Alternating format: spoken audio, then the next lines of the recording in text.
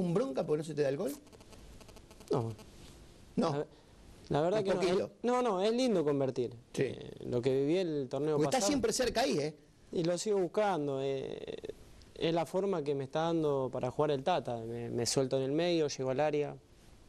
Pero el torneo pasado era lindo convertir, muy lindo, pero bueno, cuando no se da hay que estar tranquilo, hay que seguir jugando para el equipo, no para mí, sino eh, sería muy injusto. Pero, pero lo que me quedo tranquilo es que con la pelota estoy bien, físicamente estoy bien, así que por ahora estoy tranquilo. Y los volantes son de buen pie, eh, delantero también, no hay, no hay nadie que, sea eh, que tenga poca técnica. La verdad que están todos muy bien y, y están pasando un momento bueno, pero, pero el equipo tiene mucha dinámica, juega un toque, dos toques, que eso hace que ¿Eso quiere el Tata? Es lo que entrenamos todos los días, tratar de jugar lo más simple posible. Eh, juega mucho más por abajo que por arriba, Es la idea, es la idea. es lo que proponemos nosotros, puede salir bien o mal, pero realmente es eh, lo que nosotros queremos proponer y, y poner en, en la cancha. Después si sale o no, es otra cosa. Eso que identifica el entrenamiento diario, eh, ¿se plasma en la cancha con el gol del paraguayo? Esa jugada, esa triangulación, fue la jugada colectiva más importante del proceso, digo. Porque arrancan eh, eh, triangulando, llegan en juego colectivo y el que arranca la jugada termina en gol. Sí, va de un lado para el otro en la jugada, siempre jugando un toque, dos toques y rápido.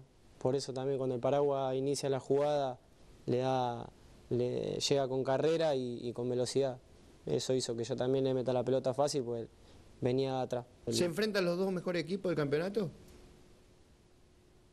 Puede ser, dos equipos que proponen y juegan muy bien. Y, y- y- y ahí paramos porque Boca quiere pero no juega bien. Y no está pasando un momento bueno Boca, pero es Boca. Él cuando está mal, para nosotros está bien, un jugador que si hoy él no se siente cómodo es porque él no le encuentra la vuelta al equipo, pero él cuando, cuando realmente juega, nosotros, yo, lo no- yo personalmente lo noto bien.